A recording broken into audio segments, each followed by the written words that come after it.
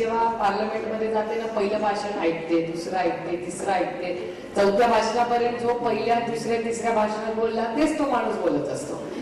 नाहीतर कुठल्या तरी खासदाराशी गप्पा मारत असतो. आमच्याकडे ते चालतं जे तुमच्या वर्गात चालत नाही. आणि खासदाराशी गप्पा मारत असताना वरून सगळे बघत असतात टीव्ही बघत असतो. तुमच्यासारख्या लोकांना काय वाटतं? देशाची चर्चा करतायत वाटतं.